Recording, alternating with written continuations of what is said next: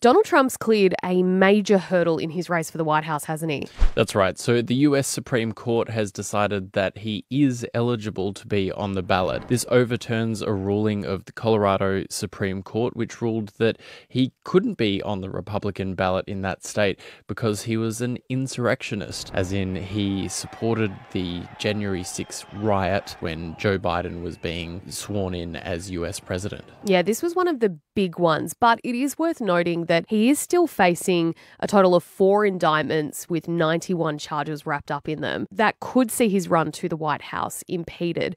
But you've got to admit, this was one that I think a lot of people were watching closely to see whether it would stack up in the US Supreme Court, and it just hasn't. So I'm sure he's celebrating. Yeah, it was a unanimous ruling from the Supreme Court. And in it, they said that they wanted to avoid uh, the chaos that would come if one state were allowed to rule a presidential candidate out. But I just don't think that they're going to avoid chaos in this election season.